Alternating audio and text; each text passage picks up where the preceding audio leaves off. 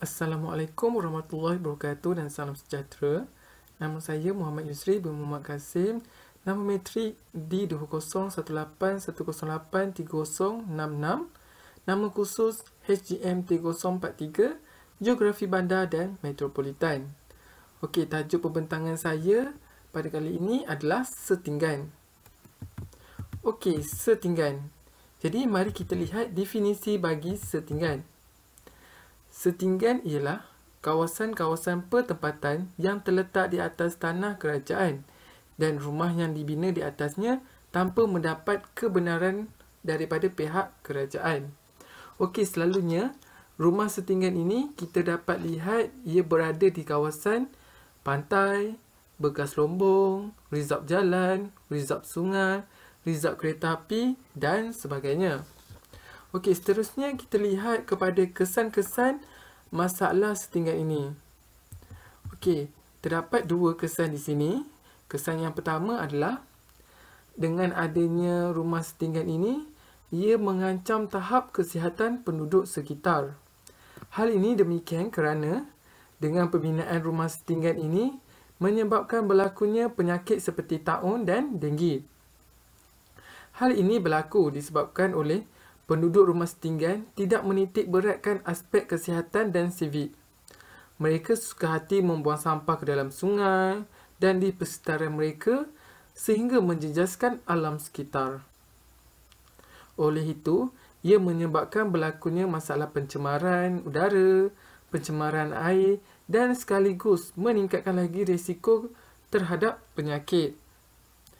Kesan yang kedua adalah ia akan menjejaskan kemajuan dan pembangunan bandar secara menyeluruh. Hal ini demikian kerana dengan wujudnya rumah setinggan menyebabkan berlakunya kes seperti jenayah, kes ragut, kes rogol, kes-kes along dan lain lagi. Selain itu juga, dengan susunan rumah setinggan yang tidak teratur menyebabkan kawasan ini menjadi tempat persembunyian bagi penjenayah kerana polis sukar untuk menjejaki mereka apabila mereka berada di kawasan setinggan.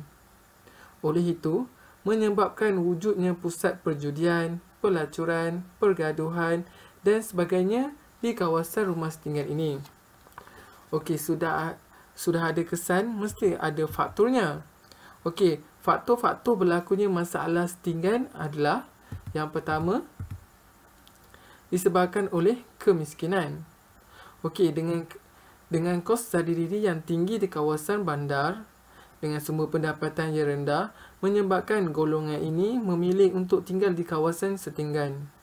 Oleh itu, golongan ini akan membina rumah berhampiran dengan tempat kerja mereka untuk menjimatkan kos pengangkutan ulang alik ke tempat kerja.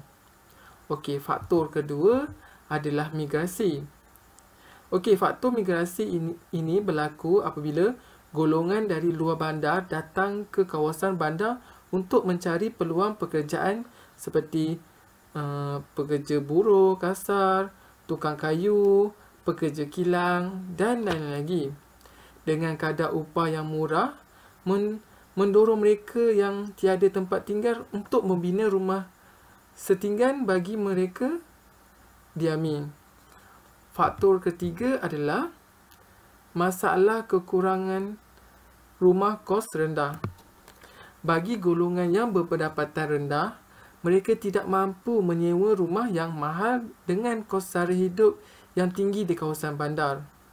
Oleh itu, mereka akan memilih untuk membina rumah setinggan kerana dengan rumah setinggan, ia tidak perlu membayar sewa dan kos pembinaannya juga sangat murah.